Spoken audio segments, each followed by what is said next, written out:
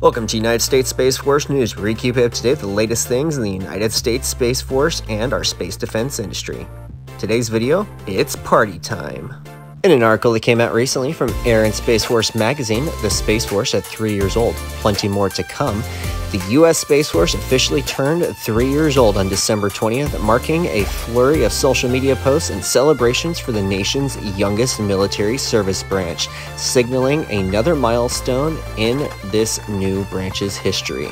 In a ceremony that took place at the Pentagon, the cakes were officially cut, and to get an idea of some of the tremendous things that have changed over the years, other than these last two photos in which you can see the difference in service dress, the Space Force officially has its own song.